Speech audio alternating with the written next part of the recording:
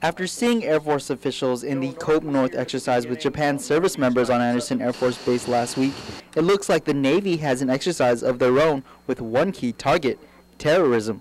Exercise Mariana's Shield 2011 is in conjunction with a national exercise known as Solid Curtain Citadel Shield.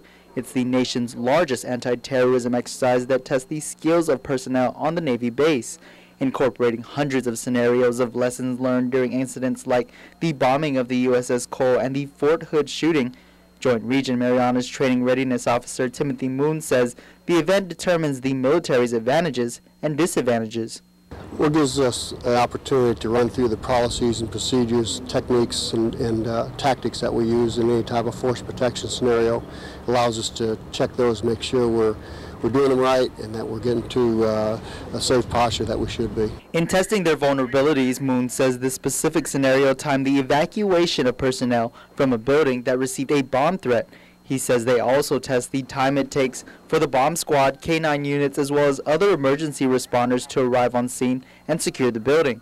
Each player is marked with a specific colored vest as they each play critical roles in the training event. Uh, the only challenge really is is uh, the organizational piece, making sure that we get all the right players in the right place to conduct the exercise that has the most benefit for the for the sailors and the Marines and the airmen that are, are conducting the exercise.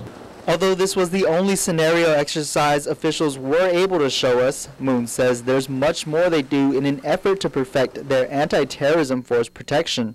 Uh, throughout the exercise, we'll be practicing some events in the harbor to check our harbor security posture. We'll be checking the various uh, security postures at the gates, and we'll be checking also to uh, other other facilities such as the Fleet and Family Support Center to make sure that uh, everybody just uh, aware and in, in tune. After the exercise, Moon says they will evaluate the performance of all the participants.